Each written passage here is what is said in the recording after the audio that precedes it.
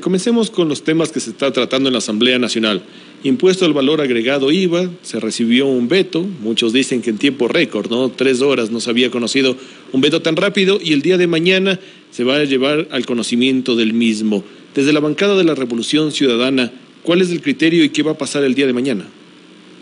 Bueno, votaremos en contra y ya le explico las razones, pero primero déjeme explicar un poco también la coyuntura, porque siempre salen las teorías del complot, del engaño, de que hemos pactado. ¿Por qué no se archivó toda la ley? Porque eso se propuso y no lo aceptaron, no dio paso a esa moción el presidente Cronfle, que ellos sí eh, tienen un acuerdo con el gobierno para dejar pasar el IVA. Entonces se votó la moción de la ponente, que es Valentina Centeno, artículo por artículo. ¿Cuál es el problema de artículo por artículo? Aunque hay debate al respecto. Que si se niega un artículo totalmente, como es parte de la ley que no se negó, el presidente puede ratificarse en ese artículo y para superar esa ratificación se requieren dos tercios de la Asamblea. Pero lo que ha hecho Novoa va más allá. Novoa no se está ratificando en su artículo original, está cambiando el artículo, modificándolo. Y eso es inconstitucional por los otros costados, ya hay jurisprudencia. Ocurrió en la época de Gustavo Novoa en el 2001. Entonces, de aprobarse este, de esta forma eh, la ratificación del presidente, la Asamblea estaría rompiendo la Constitución. Pero ya solo nos falta ver los burros volando, porque un burro ya lo vi, falta ver la manada. Entonces, eso quede claro, ¿no? ¿Por qué oponerse al IVA? No es oponerse por oponerse. Había alternativas, ¿no? Y que nadie le quede la menor duda. Esto no es por la guerra interna, sino por la crisis y por un acuerdo con el fondo. Pero hay crisis, hay que ayudar. ¿Y por qué no lo dijeron en campaña? ¿Acaso no había crisis en campaña? Es lo que molesta profundamente por qué le mienten al pueblo ecuatoriano. Para ganar elecciones dicen que no van a elevar el IVA. Luego declaran conflicto interno, todos lo hemos apoyado y como dice el presidente, uso sus palabras, nos quieren entucar tres puntos de incremento del IVA bajo el pretexto de la guerra interna, no es la guerra interna. Es la crisis fiscal y el acuerdo con el fondo y por qué no lo dieron en campaña. Sobre la guerra interna, ¿usted sabe el presupuesto de la guerra? ¿Cuánto es? ¿300 millones? ¿3 mil millones? La mayor parte del costo ya está cubierto, porque son sueldos y salarios de Fuerza Armada y Policía. Eso ya está presupuestado. Habrá que pagar adicionales en rancho, movilización, hospedaje. Eso no es 1.300 millones que lo que van a sacar con el IVA, que nadie se engañe. Lo del IVA es para la crisis fiscal que existe, pero existía en campaña y dijeron que no iban a elevar impuestos y para llegar a un acuerdo con el Fondo Monetario ya sabemos lo que significan esos acuerdos. El acuerdo con el Fondo Monetario Internacional viene pensado desde la época de Lenín Moreno. Recordemos que ya en esa época se hablaba precisamente de una receta, como comúnmente se lo conoce, en donde se visibilizaba el tema del IVA, el tema de achicar el tamaño del Estado e inclusive el tema de los subsidios lo que estamos viendo ahora es precisamente resultado de aquella receta. Bueno, eh, llegó un acuerdo Moreno con el Fondo Monetario, un acuerdo. Y eh, mire, cuando mejor no fue es cuando no tuvimos nada que ver con el Fondo Monetario, 2007-2017. Yo le pagué toda la deuda al Fondo Monetario y no acepté ninguna misión. Si querían venir al país como turistas o incluso para aconsejarnos de buena fe, hasta eso era aceptable.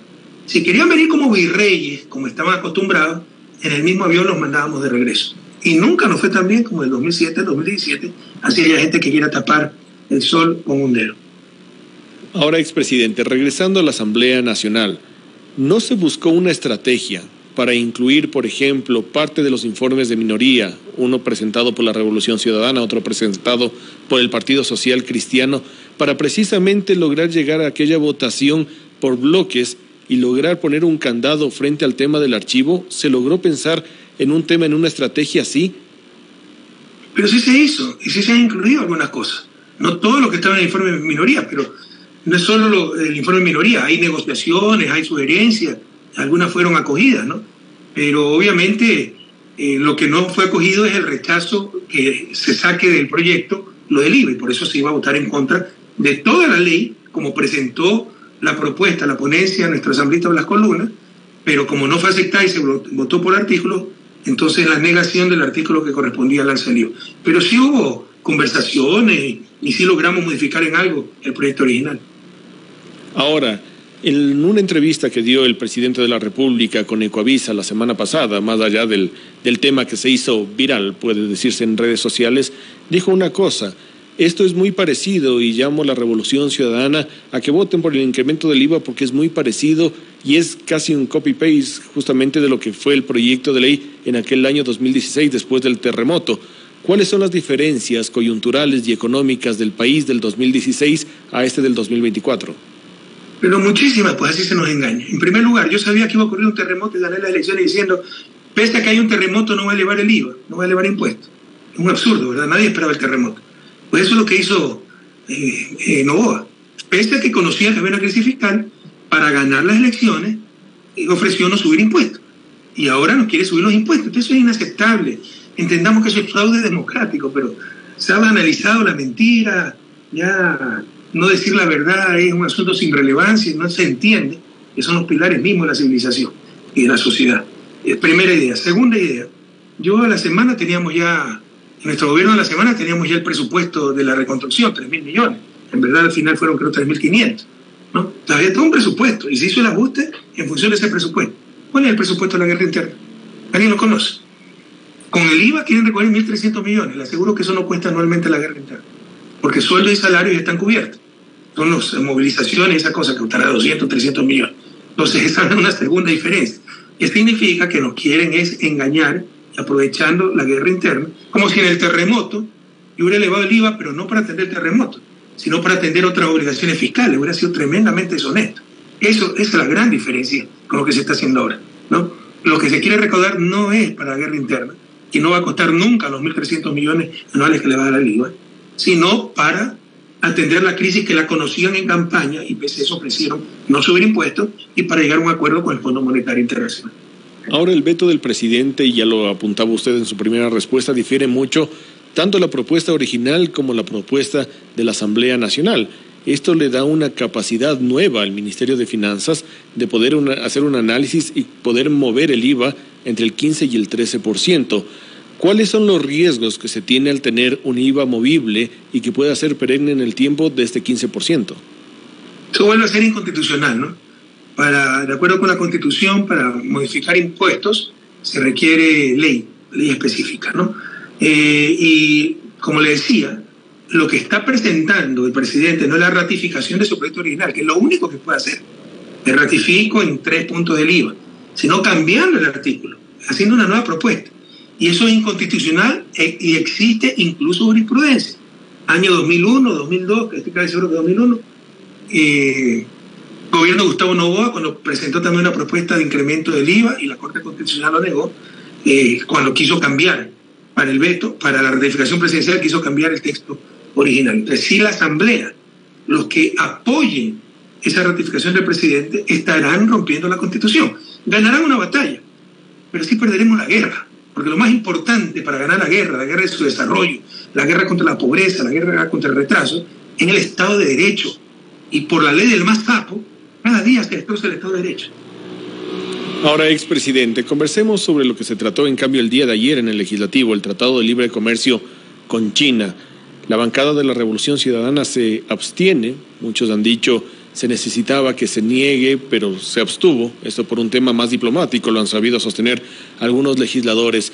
¿Por qué no se dio el voto positivo en el tema del TLC? Porque es nefasto para el país.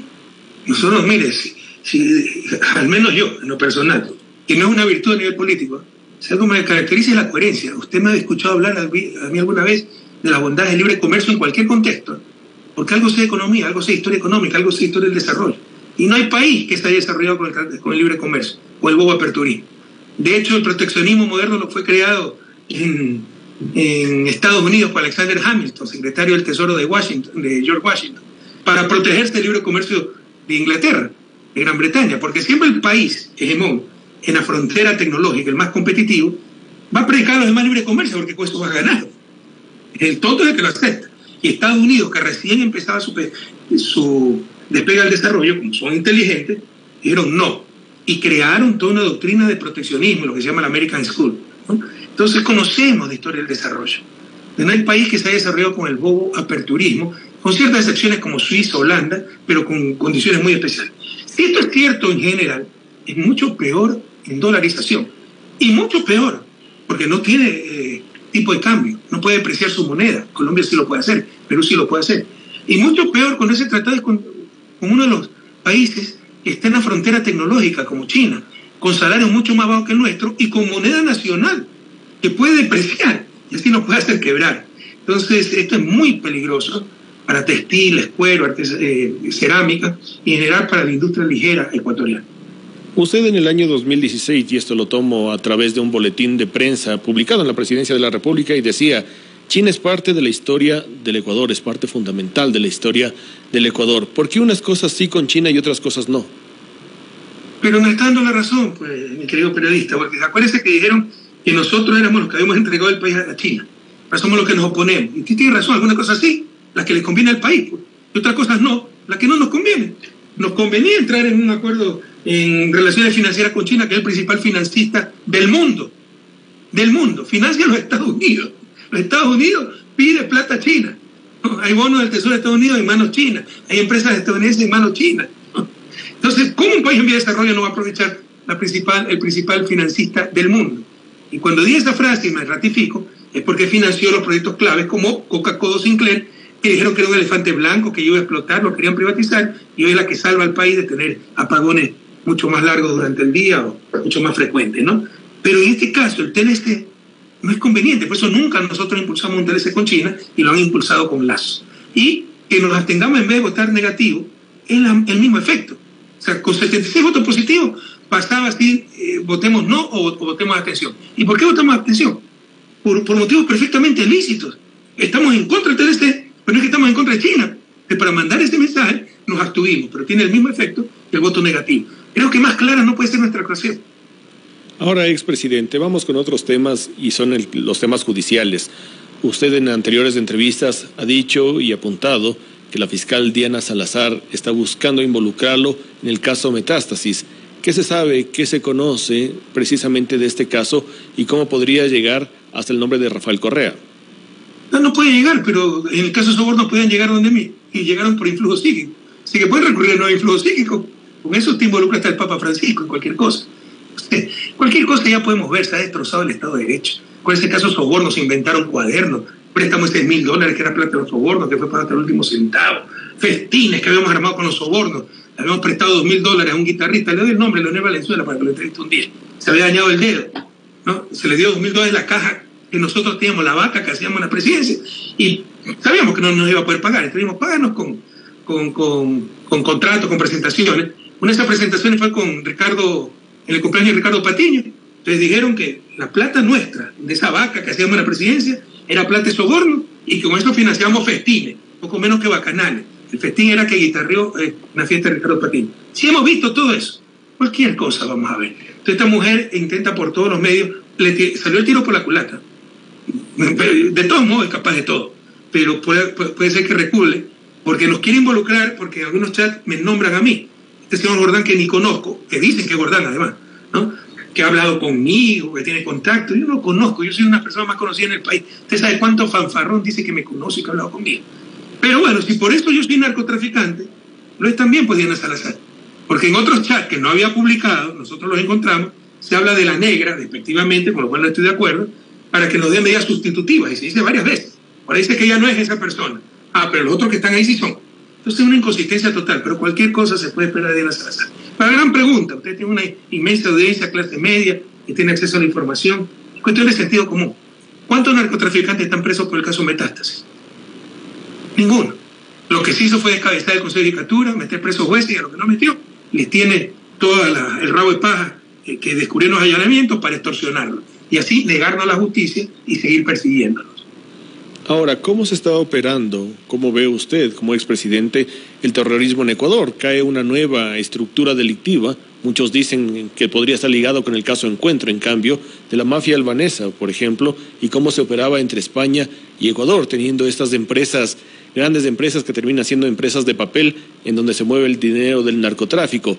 Este conflicto armado interno precisamente está buscando en dónde están operando estas estructuras delictivas ¿Cómo lo ve usted? ¿Cómo se ha venido operando este conflicto armado interno que ya lleva básicamente un mes funcionando? ¿Pero me dicen los operativos o cómo llegamos hasta donde estamos? Uno de los países más violentos y tomados por el narcotráfico. Las dos partes. Eh, unos han apuntado que... Lo, segundo, cómo llegamos a donde estamos es un proceso de destrucción sistemática por perseguir al correísmo, los que nos escuchan, ¿no? Eh, los que lo quieran negar es innegable. Lo dijo Lazo textualmente, no nos importa. Ah, eh, tenemos que eliminar el correísmo así nos cuesta la economía, no solo nos costó la economía, nos costó la vida de nuestra gente. Desmantelaron primero la función ejecutiva. La teníamos perfectamente organizada en seis sectores. Uno de esos sectores, dirigido por los ministerios coordinadores respectivos, era el sector seguridad. Tengo un ministerio coordinador de seguridad coordinaba Fuerzas Armadas, Policía, Inteligencia, hasta las comisiones binacionales de frontera, porque usted tiene que trabajar con Colombia, con Perú. Eh, la, la, coca viene de Colombia, las armas de Perú. Bueno, lo eliminaron por el Estado beso, por decir que el correísmo era populismo y que gastaba la plata en lo que sea. Eliminaron el Ministerio de Justicia, encargado de la rehabilitación. Nuestro sistema de rehabilitación social era ejemplo para América Latina. Logramos hacinamiento cero. Al final, con el terremoto y como metíamos presos a los microtraficantes, subió al 20% pero eso estaba en 150% cuando yo llegué al gobierno. Pero era un ejemplo para América Latina. Eliminaron el Ministerio de Justicia y Derechos Humanos, lo reemplazaron con una, un servicio, ni siquiera secretaría, de tercera categoría, que fue infiltrado enseguida por la delincuencia. Y las cárceles pasaron a control de los delincuentes. Cambió el sistema de gestión, Moreno, en el 2017. En toda parte del mundo los presos se clasifican por mínima, mediana, máxima peligrosidad. Acá lo clasificaron choneros a este, a este edificio, luego a este edificio, tiguerones a este edificio dándole el control de las cárceles. Y, de ahí viene todo. Eh, entonces destrozaron primero la institucionalidad del, Ejecutivo, de la función ejecutiva. Eliminaron el Ministerio del Interior, solo encargado de la policía, eh, de la seguridad ciudadana. Teníamos hasta control de mando para evaluar a la policía. Hoy volvió a ser República Independiente, mendiga. Y en el 2018, con la consulta mañosa, se encargaron de desinstitucionalizar el resto del Estado Cambiaron 70% de la corte, pusieron jueces temporales para que nos juzguen y su cargo dependía de que nos condenen. Esto no lo digo yo, lo dice el relator de Independencia y Justicia de Naciones Unidas y no es muy informe, tiene seis informes al respecto, pero eso no publica la prensa. Eh, eliminaron, eh, destituyeron la Corte Constitucional, que no se puede destituir, declararon seis, siete meses de vacancia constitucional y luego pusieron a los peores para perseguirlos sin importarles el crimen organizado. Mientras tanto, el crimen organizado se fortalecía porque además los carteles mexicanos empezaron a ver hacia el sur por problemas de mercado en Estados Unidos, recibieron financiamiento, crecieron, se armaron, infiltraron el Estado, y también una gran diferencia, controlan el sistema carcelario, parte del sistema de justicia, infiltraron Fuerzas Armadas, Policía y el gobierno de Lazo sin lugar a dudas, y ahí están las consecuencias. Pero lo que está haciendo la fiscal es una gota de agua para un incendio, ¿no? que debió hacerse hace mucho tiempo, donde hay decenas y no centenas de estos grupos, y donde todo el mundo sabe por dónde sale la droga, por dónde entra la droga, por dónde se mueve el dinero, pero entre otras cosas también desmantelaron a la UAFI, la Unidad de Análisis Financiero, que se encarga de averiguar las rutas del dinero mal habido. Ahora, expresidente, este acuerdo que se está teniendo entre el gobierno de Ecuador y el gobierno de Estados Unidos y este roce que ha habido en cambio con Rusia, ¿Cómo lo mira usted? ¿Cuál es la mirada geopolítica que se tiene en este momento desde Estados Unidos con Ecuador frente a la guerra que se está librando y cómo también es el papel de las exportaciones con Rusia? Bueno, su pregunta es muy interesante, muy amplia, compleja. Dos partes al menos. La política exterior de Estados Unidos hacia América Latina y el conflicto puntual con Rusia. Me voy a referir a los dos, ¿no? La política, con lo inteligente que son norteamericanos, su política es tonta hacia América Latina. Porque el gobierno que no se somete a sus caprichos, entonces es enemigo. Yo no soy enemigo de Estados Unidos, yo estudié en Estados Unidos. Quiero mucho ese pueblo, lo admiro mucho, lo he estudiado mucho. Tengo dos títulos de universidades estadounidenses. ¿Por qué voy a ser enemigo de los Estados Unidos? Pero sacó la base de Manta.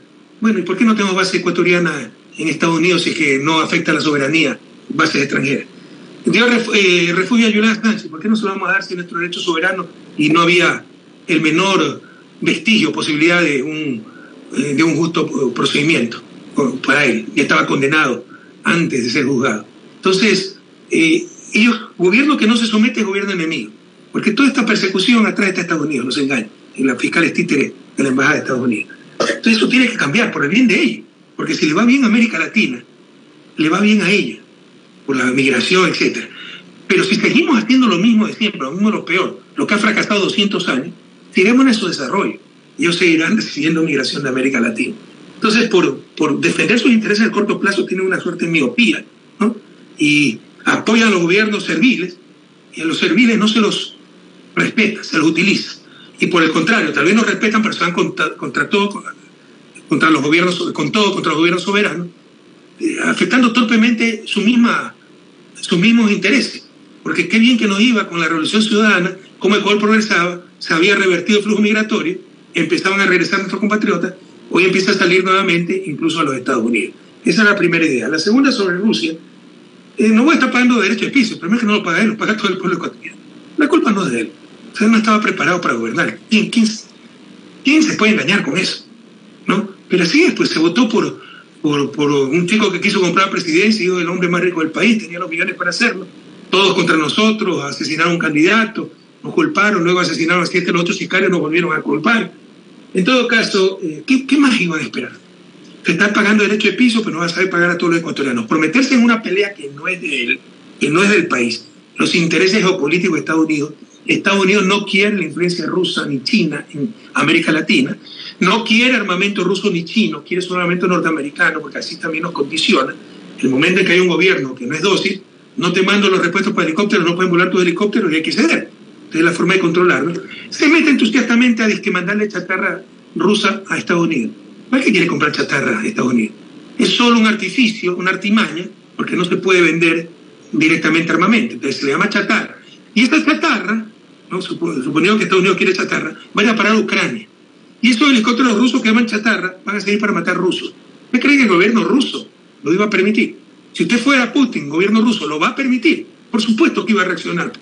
Y ha reaccionado y fuertemente. Y es muy grave lo que está sucediendo. Nos están bloqueando con el cuento fitosanitario, que siempre es el argumento, las exportaciones bananeras a Rusia. Eso puede hacer quebrar el sector bananero en Ecuador. Decenas de miles de puestos de trabajo perdidos, la fruta pudriéndose. Es muy grave. Y siguen con las flores. Y también puede venir el camarón. Rusia es nuestro tercer mercado de exportación. Y por ser líder de Estados Unidos, por meternos en líos que no nos corresponden, podemos perder ese mercado y las consecuencias para el país serán gravísimas. Ahora, expresidente, en estos últimos minutos temas políticos. Carlos Rabascal es el primer precandidato a la presidencia de la República en el 2025.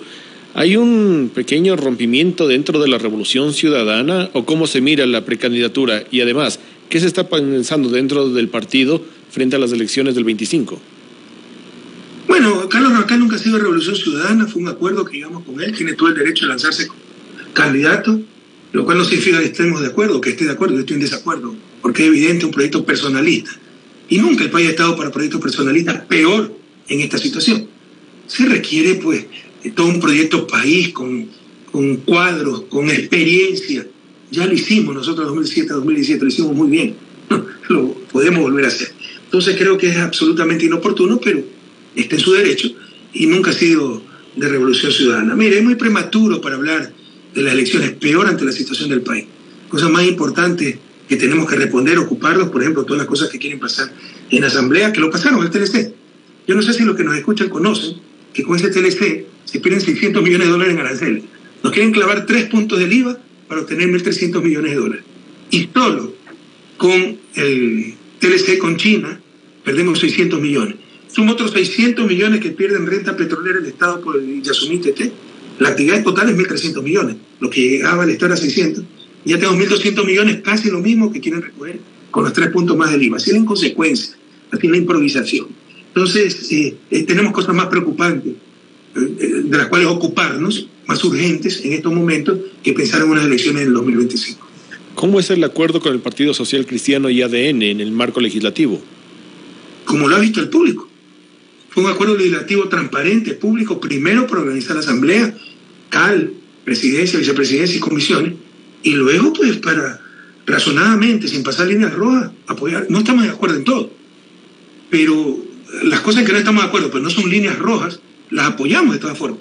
Mire, sinceramente, la ley urgente anterior, económico urgente, y mi gobierno no, no, hubiese pasado ni el primer filtro, porque es una colcha de retazos sin lógica ni concierto.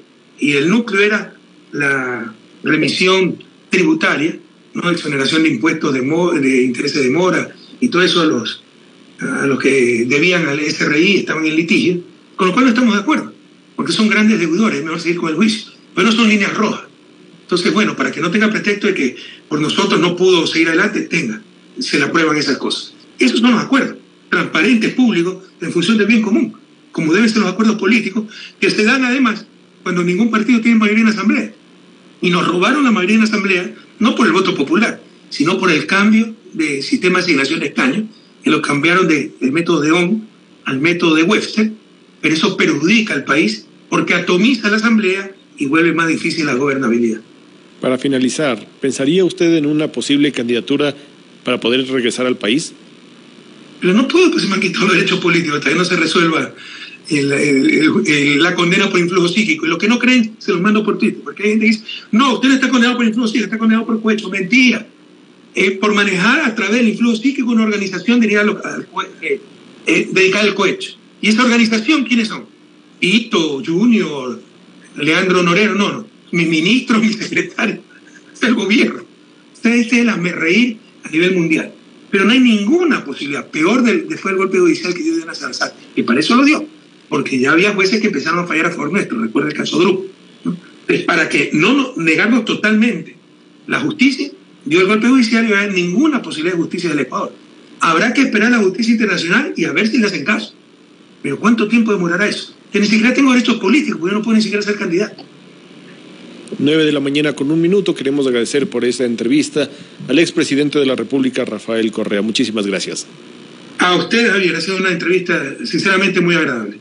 Le reconozco eso y se lo agradezco. Un inmenso abrazo a toda la patria. Cuídense.